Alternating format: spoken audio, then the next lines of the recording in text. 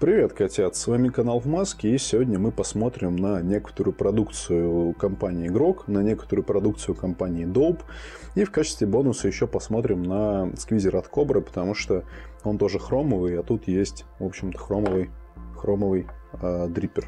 Да, это очередной live-видос, и в этом видосе мы даже перекрашивать все это не будем, то есть buff-тест будет весьма условным. Я тут просто прикинул, у меня очень много чернил на обзор еще стоит, ну, маркеров в смысле разных есть.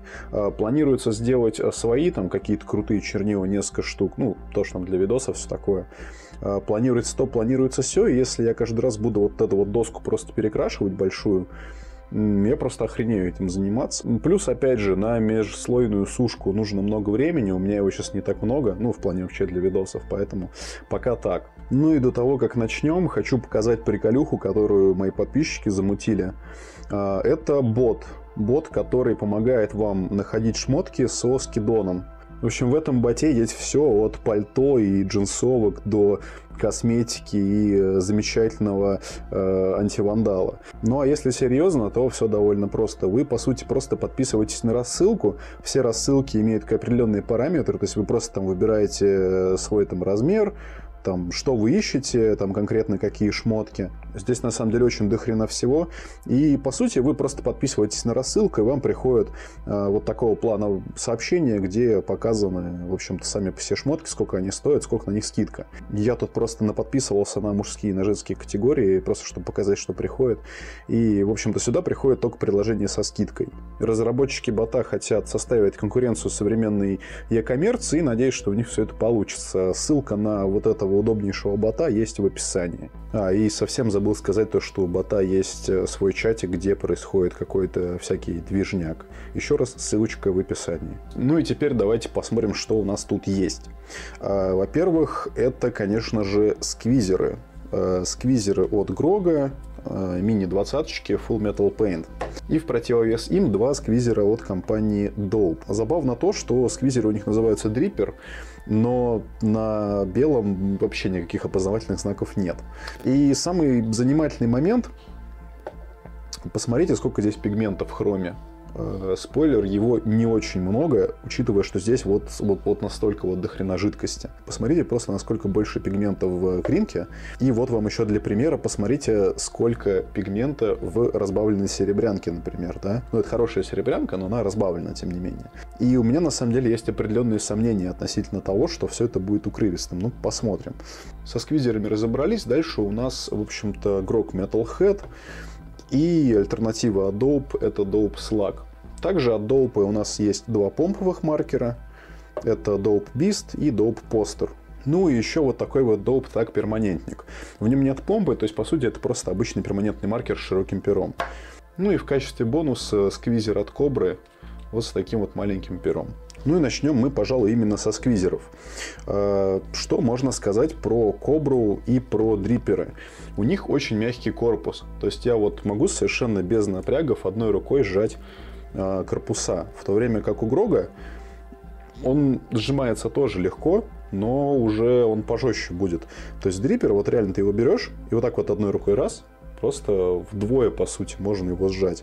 В то время как э, Гроговский, ну, ну такое, он очень плотный. Больше никаких конструктивных отличий нет. Э, перья одинаковые, все одинаковое, э, разная жесткость. Поэтому предлагаю их, в общем-то, потрясти и посмотреть, как они себя поведут. Ну и давайте начнем с чего поаккуратнее. В общем-то, с кобры.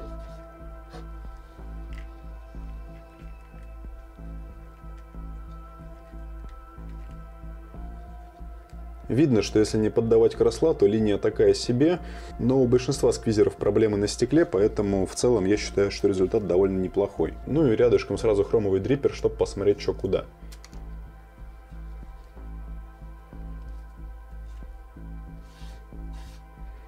Визуально дриппер выглядит посерее, и за счет того, что у него меньше пигмента, он полупрозрачный. Реально, я вот сквозь линию вижу, что за ней. И вот здесь тоже это довольно-таки сильно видно, что, на мой взгляд, ну, не очень круто. Хромовый дриппер начинает подсыхать, и прям видно. Давайте теперь белый посмотрим. Ну вот у белого цвет намного плотнее. По сравнению с хромовым, белый дриппер намного плотнее, и в целом он погуще будет, то есть э, он намного более густой. Черный Full Metal Paint. Ну, видно, что его немножко забивает. Блять, что? Ну, если не поддавать чернила, линия просто кал. Чернила довольно густые, а крайне неохотно текут. Это, в принципе, видно. Но вот линия реально, ну, не знаю, если чернила не поддавать, просто помоечная. Очень густые чернила. Это, конечно, с одной стороны прикольно. То, что они такие густые, это, конечно, с одной стороны прикольно, можно побольше поддавать их, и они не будут растекаться, но с другой стороны, конечно, плотность, ну, небольшая, прямо скажем. Ну и последний сквизер на сегодня, Грок мини 20 заправленный розовым Full Metal Paint. Ну, опять же, видно проблемы с линией, Опять же, очень маленькая плотность, если не поддавать чернила. Если честно, в прошлый раз результаты, по-моему, были получше, поэтому сейчас мы посмотрим на голубой Full Metal Paint, заправленный в молотовский сквизер. Странное дело, голубой, то ли он плотнее сам по себе, то ли это просто партия старая, то ли еще что-то. Но голубой Full Metal Paint, который был в прошлом видосе, нравится мне намного больше. Ну и пока все это дело сохнет на стекле, давайте посмотрим внутряночку этих двух помповых маркеров. А, начнем, пожалуй, с долбиста. Внутри, что немаловажно, залита краска, а не чернила. И это действительно краска, потому что когда ты делаешь вот так вот, а, с него прям начинают, не знаю, видно или нет, начинает сыпаться, начинают сыпаться кусочки этой самой краски. Нет, знаете что, давайте лучше начнем с постера, потому что он не пропитан, и он будет по-любому более чистый. Давайте попробуем с постера начать. Выглядит все это дело вот так вот. Э, написано, что маркер акриловый, но давайте посмотрим на, на внутряночку. Э, резьба левосторонняя. Резьба очень крупная и всего два витка. Внутри стандартные 15 мм. Э, губка, которая больше вообще похожа на кусман поролона, чем на губку. И вот такая вот довольно скромненькая помпа, которая, по-моему, ну, по виду, во всяком случае, даже уже, чем молотовская. В целом прикольно то, что такой флэт дизайн, то есть э, голова не выступает за габарит самого маркера. Но то, что узкая помпа, это, конечно, спорный момент, хотя чернила вроде довольно-таки жидкие, проблем быть не должно никаких. Давайте сразу же попробуем пропитать. Написано, кстати, то, что это акрилик инк, то есть внутри типа не краска, а чернила. Ну, кстати, линия довольно-таки плотная anyway. Про Dope так рассказывать особо нечего. Обычный перманентник. А, помпы нету. То есть внутри, по сути, просто картридж а, с чернилами. А, цвет, на самом деле, я бы даже не сказал, что черный. Он вообще какой-то странный. Я не могу даже как-то, ну, короче, не могу внятно подобрать слова. Он вроде и синим отливает, и фиолетовым, и черным, и какой-то краснотой. Хотя в магазе, где вот он покупался, было написано, что он черный. Ну, посмотрим. Ну и Beast э, помпа, внутри э, краска, то есть не чернила, и написано, что она buff. Ну, посмотрим потом, насколько она buff. Давайте попробуем сначала все это разобрать и глянуть, что же там внутри. Э, маркер пятнаха уже пропитанный, потому что приехал полупропитанным, я его пропитал сразу же. Э, внутри нормальная губка, внутри очень узкая помпа. Ну, кстати, чернил тут прям щедро налито, учитывая то, что я уже пропитал, несколько линий провел, тут реально прям до краев наполнена колба. Сама по себе помпа не особо длинная, но очень узкая. Не знаю, проблем вроде не было и пропитывалась быстро. Но вот такая узкая помпа, конечно, меня немножко смущает в свою очередь. Голова, кстати, визуально очень похожа на ОТРовскую, но таковой не является. Выполнена из более приятного пластика и, на мой взгляд, ну, более качественная. Ну и крайние две штуки на сегодня это Metalhead и Slug. Скажу сразу то, что Dope Slug я уже немножечко попользовался. А, попробовал писать. И Блин, это очень прикольная штука. Выглядит это, в принципе, так же, как и ощущается. А, то есть э, в бутылочку от жижи для вейпа вставили, короче, вот эту металлическую херню от гелевой ручки. Но а, здесь ход вот этого шарика, который внутри как клапан, он довольно большой. И когда ты начинаешь им писать, ты прям чувствуешь, как клапан открывается. Блин, это очень прикольно, очень удобно. И почему только Dope делает такие штуки? Потому что да, ей не сделать там большую метровую тегу. Э, да, ей там не особо что-то еще можно там сделать. То есть именно сами ощущения от э, того, как вы ведете линию, они невозможно вообще приятные. И если вы живете там в Украине или где-нибудь в Европе, у вас есть маза купить Dope купите себе попробовать, реально очень прикольная штука. Ну и давайте также по стеклу попробуем. Да, линия не везде ровная, но тем не менее по ощущениям все это работает прям очень приятно. Ну и здесь понятно, что никаких проблем уже точно не будет. На мой взгляд, очень удобная безделушка. Поток чернил полностью регулируется нажатием на колбу. Колба не слишком мягкая и в целом контроль действительно ну, меня радует. Ну и, конечно же, Grok Metal Head. Крайне долгоживущая херня. Клапан, как мне кажется, вообще вечный, потому что целиком металлический. А, но что мне не нравится, это вот эта вот крышка на защелке. Да, но вроде как здорово защелкивается, но мне все-таки кажется то, что подобное соединение не слишком герметично, и то, что краска будет здесь засыхать. А, что, конечно же, на мой взгляд, плохо. Эй, там какая-то губка внутри есть или что? Или, или я что-то не знаю. Короче говоря, я только что попытался пропитать ну, типа, начать писать, у меня ничего не получилось. Тут внутри вот такая вот крышечка, которую нужно перед этим снять.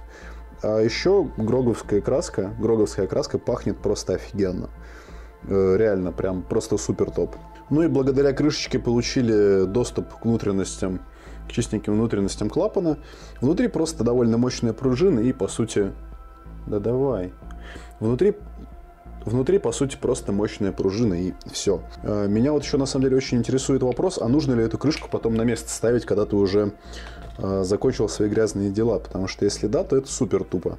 А если нет, то не будет ли через клапан все это испаряться. Ну, узнаем.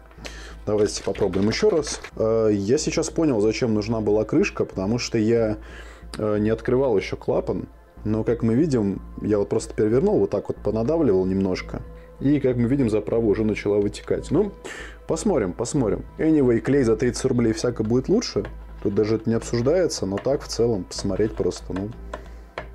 Ну, да, ведет себя тупо как клей, вот реально. Не, ну, понятное дело, то, что, конечно, не клей за 30 рублей. Ну, кстати, выпуск про клей, он э, вот здесь вот по ссылочке есть. Посмотрите, он прикольный. Конечно, не клей, но в целом явно лучше, чем Молотов Rollerball. Вот прям стопудово лучше. Да, чернила, конечно, нужно прям поддавать нормально, чтобы все это хорошо работало. Но э, по ощущениям, опять же, ну, тупо клей за тридцатку. Прям один в один. Только разве что клапан металлический убьется медленнее. Короче, попробую его вот так вот закрыть. А заодно посмотрим, засохнет или нет. Ну, здесь от теста я, конечно, ничего особенного не жду, но давайте попробуем хотя бы. По итогу мне больше всего понравился белый дриппер, потому что у него консистенция прям приятная. И хромовая кобра, потому что она очень плотная и цвет крутой. Э, хромовый дриппер вообще не укрывистый, оттенок просто серебряночный.